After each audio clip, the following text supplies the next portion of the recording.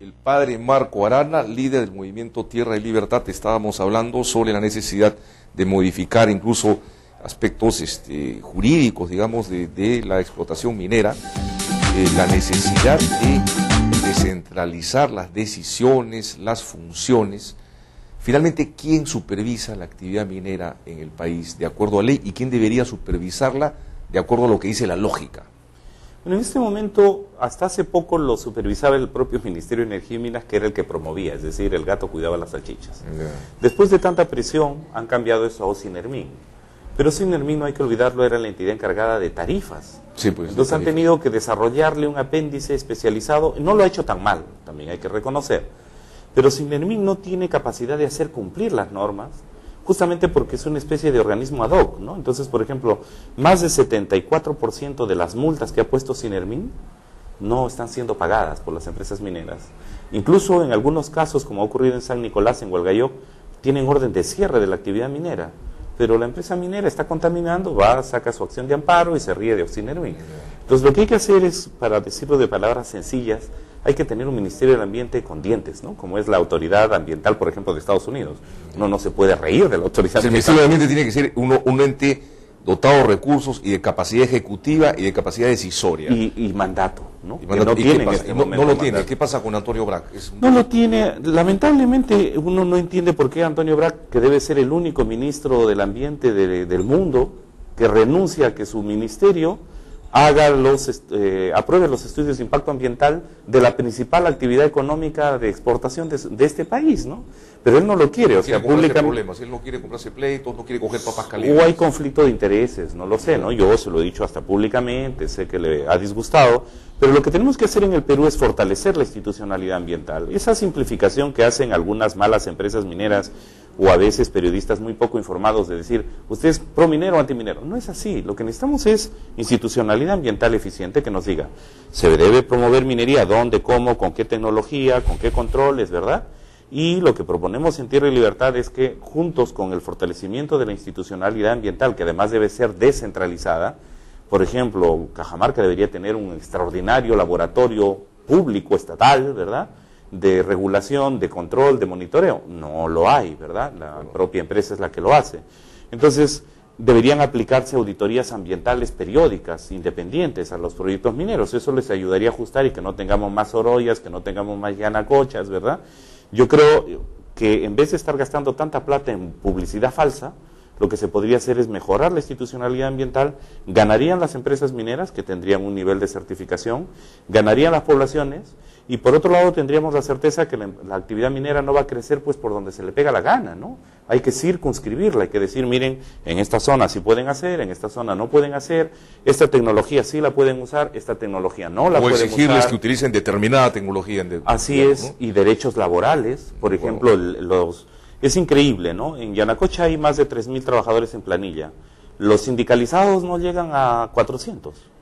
¿Y por qué no llegan a 400? Porque hay una presión sobre el que se sindicaliza, que la mayor parte prefiere no estar sindicalizada. Entonces hay un conjunto de obreros que resultan con la columna rota, con los temas de mercurio en la sangre, y no pueden reclamar porque van al sindicato, no han estado sindicalizados, van directamente a la empresa y ya les hicieron firmar con alguna leguleyada un, un dinero, un sencillo que les sirve para unos meses. Entonces, promoveríamos, por ejemplo, la sindicalización de los trabajadores, ¿no? Y regulaciones tributarias, ambientales, laborales, que creo que serían sumamente importantes, con un elemento además que yo creo que es fundamental. La descentralización muchas veces la han querido promover solo en el campo administrativo político, pero no en el campo económico. Y por eso han fallado. Hay que ir a una descentralización fiscal, ¿no? En Tierra y Libertad, por ejemplo, nosotros proponemos que se descentralice fiscalmente, que los ingresos se paguen allí, más bien de allí se envíen a la capital.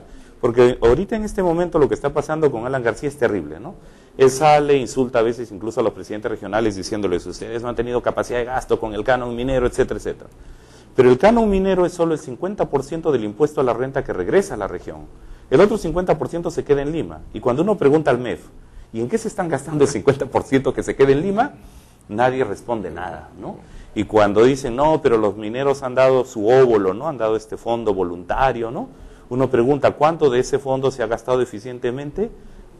Tampoco, ¿no? Muchas veces ha servido para hacer pequeñas alianzas, para pagar publicidad, para generar un tipo de alianzas esto, locales, eh, en realidad deleznables, porque sirven para que encuentren apoyo de empresarios locales o de autoridades locales, pero no resuelven los problemas. Bueno, hubo, estuvo acá un directivo de la Sociedad Nacional de Minería y Petróleo y manifestó que gracias al óvalo voluntario se había logrado, digamos, solucionar el problema de agua y desagüe de muchísimas este, comunidades. ¿Es, ¿Es, eso exacto? Hay que mirarlo en detalle. Yo no dudo que en algún pequeño distrito hayan podido lograr algo así. En Cajamarca se está logrando resolver, todavía no se ha hecho, se está en camino de hacerlo, en parte con fondos del óvulo minero, pero sobre todo con deudamiento con la cooperación japonesa. ¿no?